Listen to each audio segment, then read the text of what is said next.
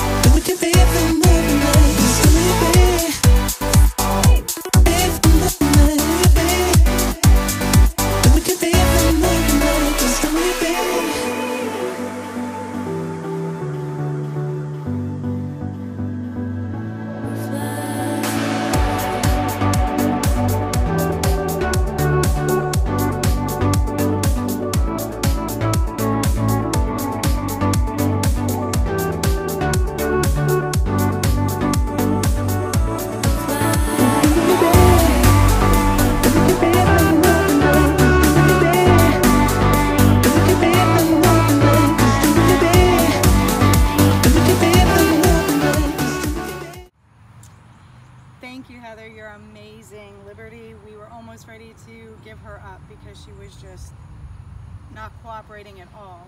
And because of you, we're able to keep our baby and she's now a loving member of the family and you have literally kept our family together. So thank you.